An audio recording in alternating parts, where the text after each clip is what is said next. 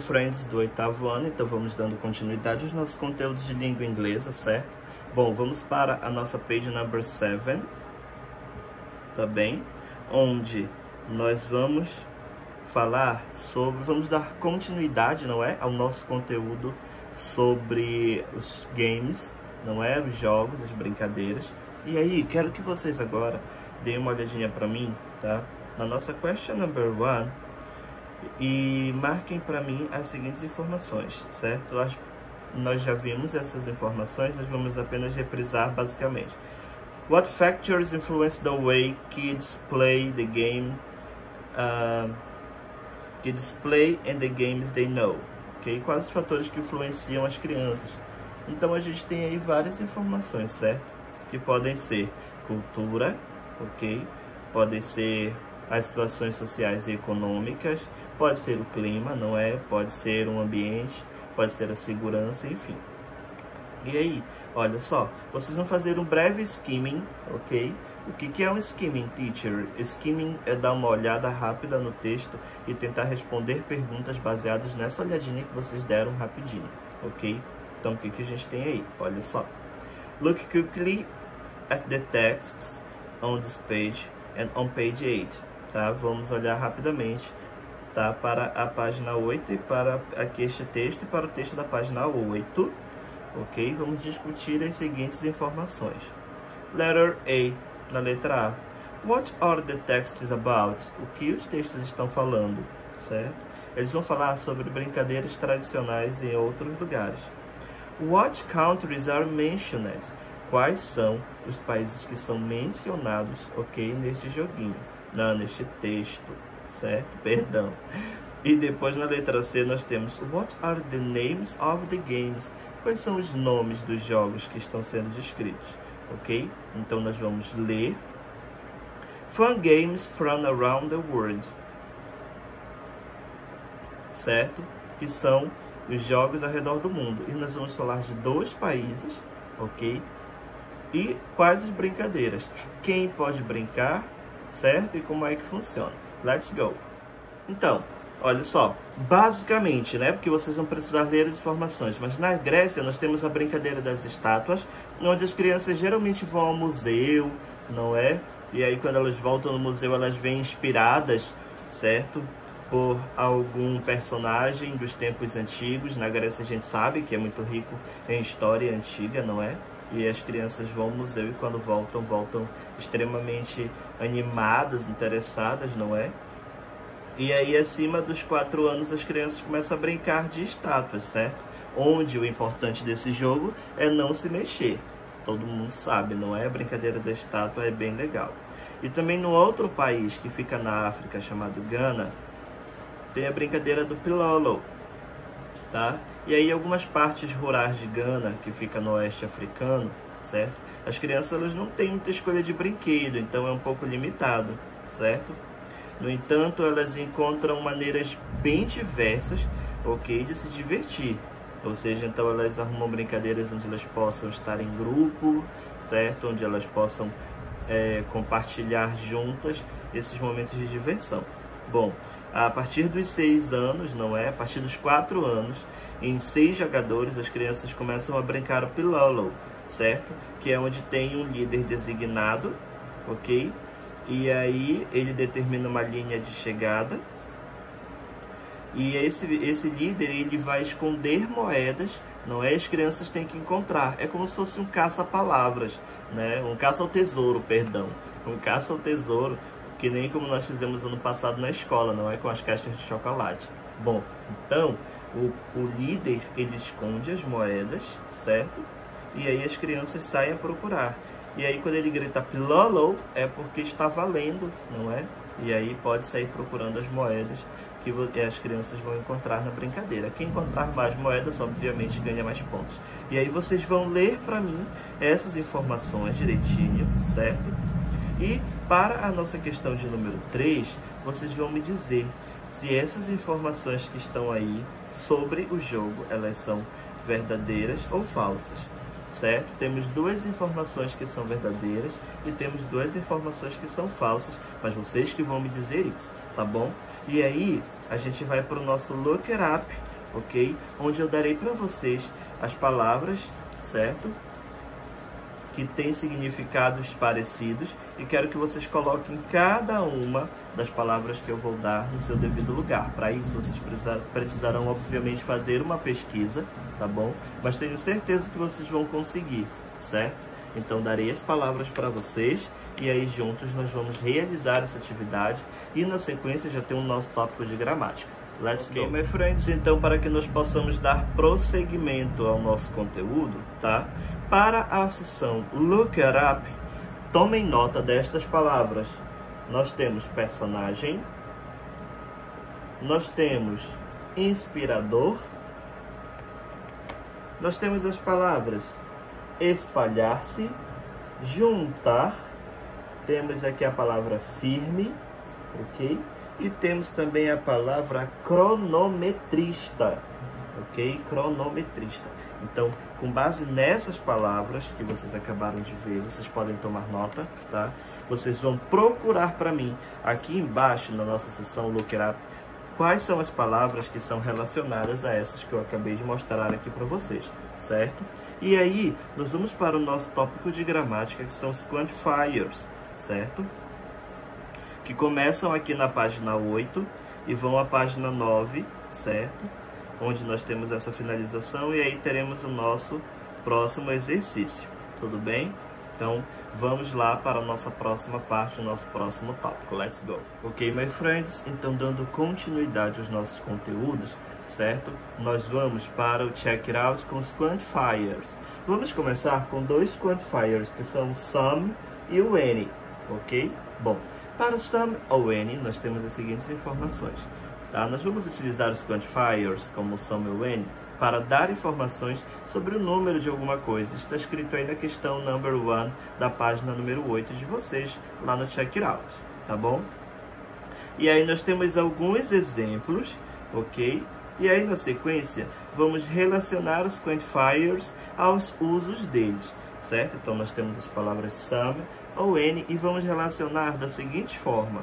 Some nós vamos utilizar, ok, para falar sobre uma certa quantidade de algo, ok, sem saber ao certo o montante daquilo, quanto temos no total valor ou na realidade, ok? Então, para a palavra some, nós vamos relacionar, ok, lá nos nossos parênteses com a letra A aqui embaixo. Logo, utilizaremos B aqui em cima, certo? Para N, que quer dizer, nós utilizamos o N, ok? Para falar sobre um total, todas as pessoas ou coisas na situação, certo? Então, quando eu quero falar todas as pessoas, quando eu quero falar todas as coisas, eu utilizo N. Se eu quero ser mais específico, sem saber né, o valor exato, sem saber o monte exato, aí eu digo some, certo? Parece um pouquinho complicado, mas a gente vai esclarecer isso mais aí na frente, tá bem? Olha só, nós utilizamos o some e o n nas sentenças afirmativas, ok?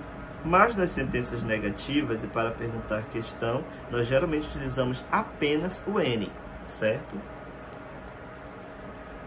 Então, no geral, nós teremos mais essa forma, ok? Nós temos o sum,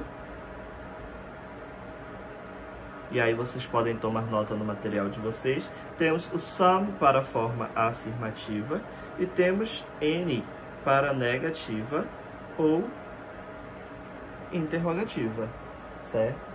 Sum ou N, ok? Então, temos ali alguns exemplos, não é?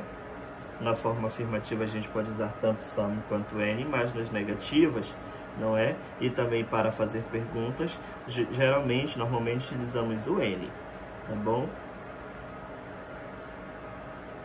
E aí, na sequência, vai aparecer uma palavrinha nova que nós vamos utilizar, que é o many, certo? Olha, uma palavra nova aí para o nosso vocabulário.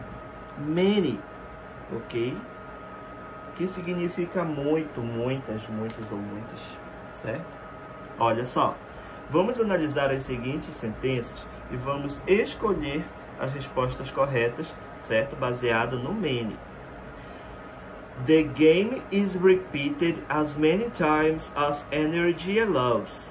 O jogo é repetido quantas vezes a energia permitir. Ok? Depois, Korean children celebrate many festivals throughout the year. E depois, this is a popular game played in many Australian preschools and kindergartens. Ok? Bom, nas três frases, então, nós percebemos que tinham, uh, tinham, tivemos, não é, o uso do many. E aí, nós vamos marcar as seguintes informações. Na letra A, many can be used with singular or plural nouns. Vamos observar, depois de many, certo? Nas três frases. As palavras que se seguiram, elas eram todas no singular ou no plural, ou havia singular e plural, tá? Mas devemos levar em consideração que na frase Australian Preschools and Kindergartens, ok? É um termo composto, certo? Então, para plural. Então, certo? Many só pode ser utilizado para a forma plural. Não podemos marcar como correta a letra A, certo? Depois, We only use many with singular nouns, certo? Se nós não podemos utilizar na forma singular, obviamente também não marcaremos a letra B. Para a letra C, we only use many with plural. Então, olha aí a primeira informação correta. Só podemos utilizar o many para a forma plural, certo? Para a forma plural, nós temos o many. Depois, many is used with countable nouns tá? O many só vai ser utilizado com pronomes contáveis, substantivos contáveis, ok? E na letra E nós temos many is used with uncountable nouns, ok? Many é usado com substantivos incontáveis, o que não é verdade, tá bem? Então, apenas a letra C e a letra D que são corretas. O many só pode ser utilizado na forma plural, ok? E ele só pode ser utilizado com pronomes contáveis certo?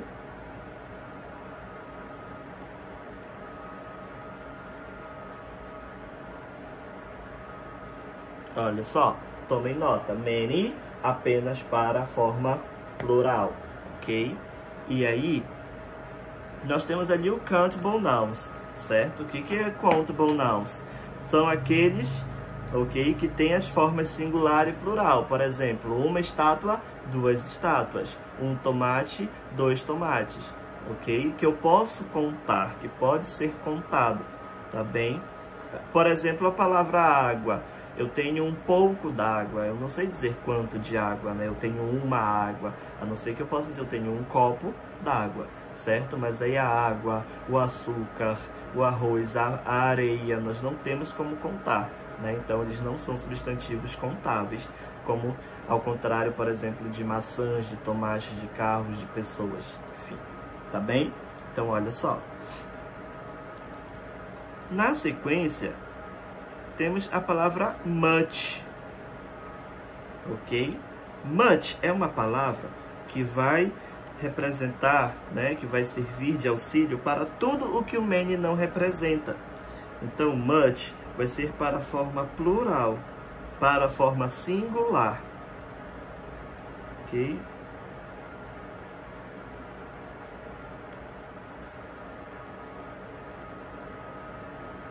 Olha aí, much para a forma singular. Eu tinha many para a minha forma plural, certo? E agora eu tenho much para a minha forma singular. E aí, lá na página de número 9, nós temos uma tabelinha que nós vamos completar juntos, ok? Quero que vocês prestem bastante atenção para mim agora, porque junto com o much e o many, certo? Com o some e com o any, nós temos também o no e nós temos o a, que são duas, né, uh, dois elementos que vão fazer muita, uh, muito, vão ter muita serventia, ok, aqui no nosso material. Bom, então a gente vai começar.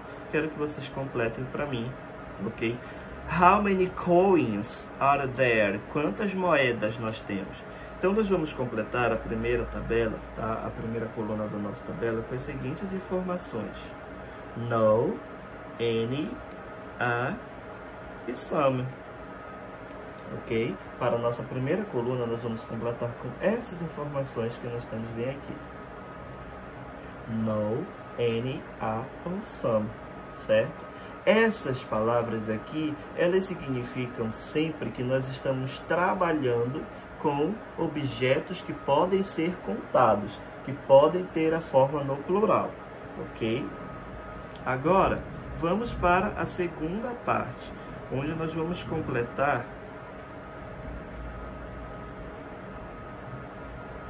ok? Da seguinte forma, e faltou ainda many e much.